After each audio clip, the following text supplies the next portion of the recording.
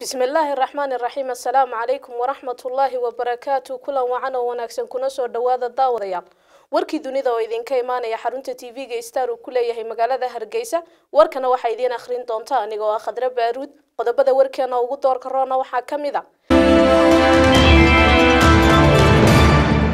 madaxweynaha jamhuuriyadda somalilan mudane axmed maxamed maxamuud siilaanyo oo kulan la qaatay guddida abaaraha gobolka sanaag taliyaha ciidanka booliiska somalilan oo kormeeray taliska ciidanka booliiska ee degmada ceeri gaabo hay'adda keer oo deeq booyado biyaa ku wareejisay guddida abaaraha ee gobolka sanaag dhidhiyaha qaaradda ameerika ee xisbiga wadani oo ka hadlay socdaal uu ku yimid dalka iyo safarka madaxweynuhu uu ku marayo gobollada bariga ee somalilan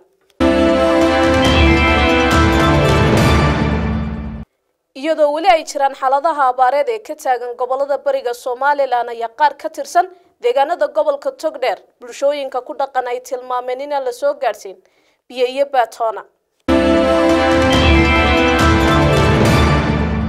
Madaxweynaha turkiga mudane rajab tayyib erdoqan oo ku hanjabay inuu xuduudihiisa u furi doono boqolaal kun oo muhaajiriina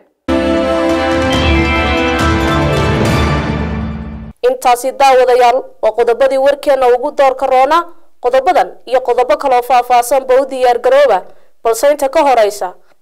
qadar adeega bulshada